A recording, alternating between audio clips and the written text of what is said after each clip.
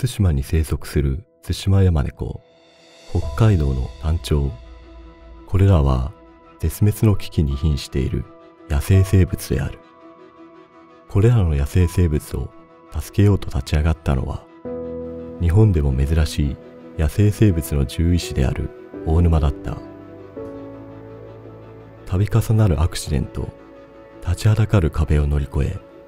絶滅危惧種の細胞を将来残すプロジェクトに命を懸けた研究者たちの物語があった。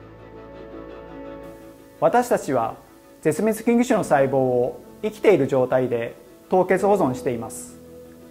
交通事故などで死亡した絶滅危惧種の細胞をチューブに詰めます。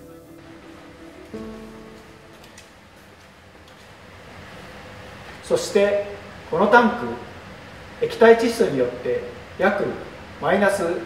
160度の超低温に保たれている中で保管します。この凍結方法によって絶滅危惧種の生理機能や遺伝情報を安定的な状態で将来に残すことができるという。これまでに国立環境研究所では国内の約100種約4000個体の資料を凍結保存しました。また海外特にアジアの絶滅危惧種の細胞保存体制の充実も図っています。